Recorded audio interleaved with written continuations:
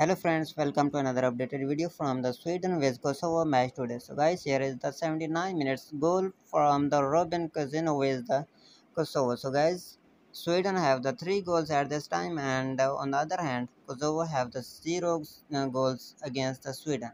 So at the time of 79, Robin Quaison get the third goal for the Sweden and lead by 3.